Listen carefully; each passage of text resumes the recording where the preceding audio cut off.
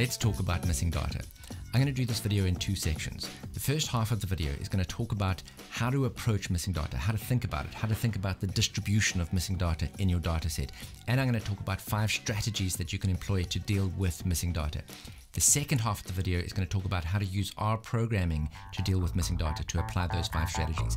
Okay, let's get stuck in. Illustrate the importance of understanding the distribution of missing data. And to do this, we're going to look at a very simple data set. We're going to imagine we're interested in the difference in the average earnings of men and women. And by the way, all of these figures are completely fictitious, right? But in this data set, there are no missing values. And so we can see that in men, the average earning is about $5,000 a month and in women the average earning is about 4,600, a little less. Now let's look at the same data set, but let's imagine that there is some, some missing data or not available or NA, and in this example, imagine that the distribution of the missing data is random.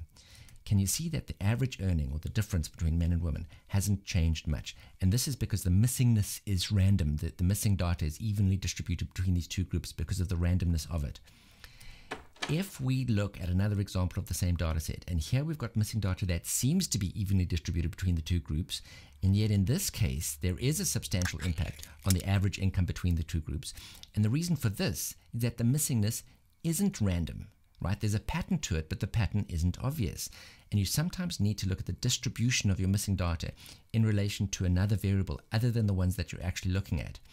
And in this case, the data had only been collected from people living in cities, and the absence of rural data represented a systematic bias in the dataset. Now, this isn't a showstopper. We can still analyze the data, but when you report the, your findings, you need to be very clear that the difference in the earning between earnings between men and women in this dataset represented urban data only, right? Now, let's take a look at the various strategies that you can employ when you're faced with missing data. Let's imagine that we've got missing data all over our dataset. I'm going to walk you through five things that you can do to deal with these missing values. The first thing that we can do is we can delete all rows with missing data. But that's going to take out almost your entire data set, so it's almost invariably a bad strategy. Something else that you can do is you can delete just the rows where there is missing data from a specific variable. Now, if you look at the names variable, we don't care too much that the, the actual names are missing because we're not going to analyze this data by individual names, right? So our third strategy for missing data is we might want to change missing values in a particular variable to something else. And boom shakalaka, we've changed them to unknown. Or we might have the exact opposite problem, right? There is data that is actually missing, but it hasn't been identified as missing in the data set. In this case, we've got zeros instead of missing. So we so our, our fourth strategy is we can change values in a variable into missing data. And boyashaka, those zeros have been changed into NA or missing data. And finally, we might want to replace missing values with what our best guess is as to what that value should be. And this is something called imputation. Now, there are some very clever strategies that can be applied to stick in some substitute values into your data frame. Now, in the rest of this video, I'm going to talk you through how to use R programming to deal with missing data. I'm not going to get into the imputation side of it that, that's going to be a standalone video on its own. Before we start, as always, make sure that you've installed and you've called the Tidyverse package, which means that you'll automatically have access to the Star Wars dataset, which we're going to be using in this lesson. And the Tidyverse also it gives you a whole lot of packages all built into one actually, and it gives you to, an, access to an expanded vocabulary within R. Okay, so very important. Not going to get into that right now, but get into the Tidyverse. Right. Let's take a look at this data set, we type in the function view with a capital V, in brackets the name of the data set we want to look at, in this case Star Wars, and here we go. That's the Star Wars data set. You've got access to that. I'm deliberately using a data set that you've got access to so that you can go through each step that I'm going to show you and practice dealing with missing data on your own. Now we're not going to work with the entire data set. For the sake of this tutorial, let's just work with name, gender, hair color, and height. So we start by telling R what object we're going to be working with. In this case, it is the data set Star Wars, right? We use the pipe operator, that's in pink. That's the same as saying and then, right? So Star Wars, and then we select the variables we want to work with, right? And then let's just say view with a capital V to have a look at what that looks like. And as expected, here's a slightly smaller data set just with the variables that we want. You can see that there is missing data here depicted as NA, which stands for not available. If we, went, if we were to scroll down, we'd see that there are missing variables in the variable height as well. Let's imagine that we're interested in the difference in the average height between males and female characters in the Star Wars universe. before doing anything else, you want to get a sense of the distribution of your missing data. Because this is a relatively small data set, we can filter out all the rows that have missing data and simply visualize and inspect that data. To do this, we use the function filter, and that will extract out only the rows that meet the criteria that we put inside the brackets, right, the arguments. Now, I want to talk you through this code because it's not it might not be entirely obvious what I've done here. First of all, complete cases.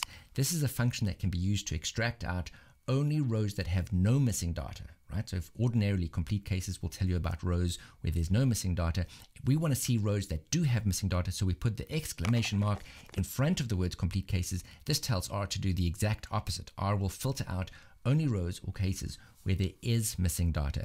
And the blue dot that you see there is that just basically tells R that we want to use the entire data frame inside there as an argument inside the brackets. Okay, that's been piped into it. Let's take a look at what that produces.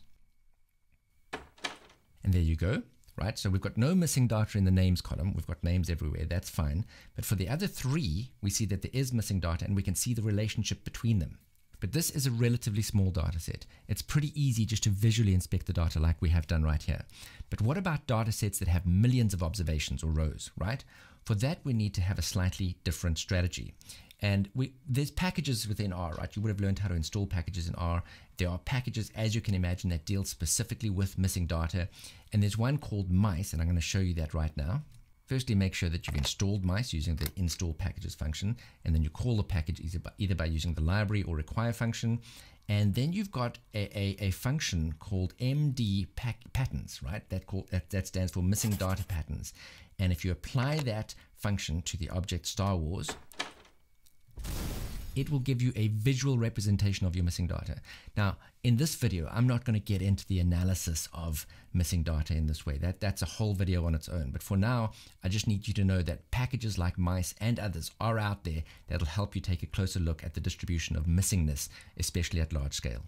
Now, when we talked about the five strategies that we could apply to missing data, the first one we said is we could just we could just omit all all rows that have any missing data in any variable, right? So let's let's just look at how we would do that. We would use the we would use the na omit function, right? And that would if we did that, uh, it's pr pretty simple. What would happen? And voila, all the missing data is gone. And now, while this looks neat and tidy, it's almost always a bad strategy because you've deleted any row of data that has any missing value in any variable, and it's hard to know what's been taken out. So instead of deleting all the rows that have any missing data, we might want to drop just the rows that have missing data from a particular variable. That was our strategy number two. And to do that, we can use the drop NA function. Right? And this tells R which variables to drop missing values from. And in this case, we want to drop all the missing values from height. And let's look at what that does. Voila, no missing values in the height variable. Right, let's just have a look. This is what things did look like, right? These are the these are the rows that had missing values in them. And if we remove them, we go back to a data set that has no missing values from the height variable. Now we want to change the NAs in the gender to none. We're wanting to change the values inside a variable. And to do that, we use the mutate function. Now remember, mutate can be used either to create a new variable or to change the values or overwrite an existing variable, right? So in this case, we type mutate, that's the, that's the, that's the function we're using. And in the first argument, we tell R that what we'd like to change is the gender variable, right? The first argument is what it is that we're going to overwrite, or, or it might have been what new variable we're going to create, but in this case, we're going to overwrite the existing variable gender. Now we need to tell R what the gender variable is going to become. And we, and we use the replace NA function, right? Remember, we're going to replace the NA functions with something else. In this case, we're going to replace them with none. Okay, and that replace NA function itself has two arguments.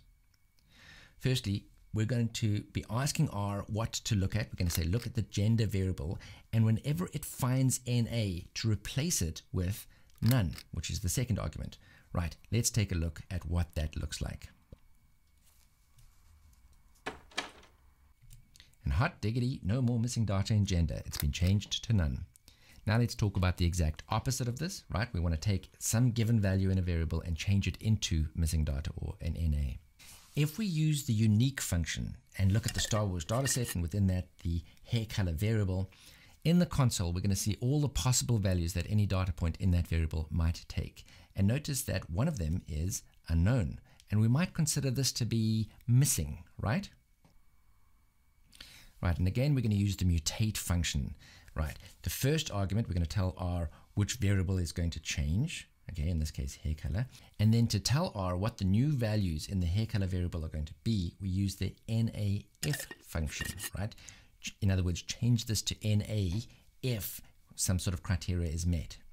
And here, the first argument within the NA if function is to tell R what to look at, right? So we're going to say look at the existing values in the hair color variable and change them to NA if they meet the criteria in the second argument, which is if R finds the word or the text unknown. Right, let's use the filter function to filter out only rows where hair color is NA. We can use the is NA function as an argument within the filter function. And let's take a look at what that looks like.